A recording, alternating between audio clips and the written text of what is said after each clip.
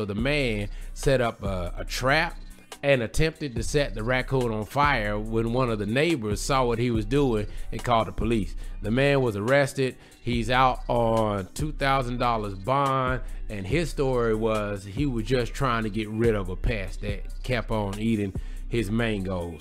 Uh, brother, there's better ways to try to get rid of raccoons than to catch them and try to set them on, on fire.